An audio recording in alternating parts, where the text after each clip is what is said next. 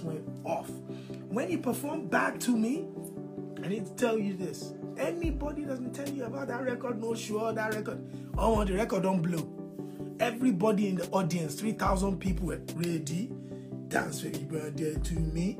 Everybody was going. Every part to me is blown. Forget when he comes into your city and he's performing that record. Trust me, watch everybody in the audience.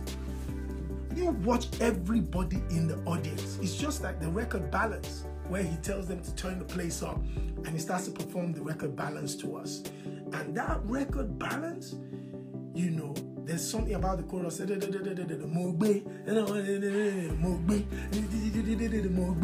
he starts to say something and tells us to say balance, and the whole crowd was going balance, and he was turning it up. He already knows that's another smash.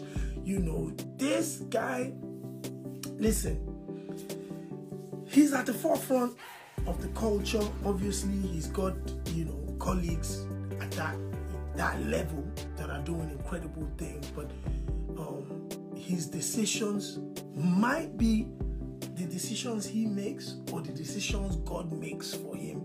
But every time this brother looks like he just makes certain decisions that just kind of, you know, just makes things everything, you know. Um, and tonight was a fantastic one. Um, when he performed, uh, I, I forgot what record he performed. People started throwing bras at him, and then he got to a point where he was like, "Yo, me and DJ Tunez have your your your have you fans at heart or something like that. Your interest at heart." And he just dropped. Um, my day.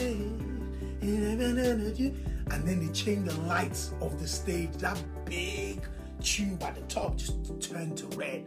And he's like, grab every girl and whine and, and the whole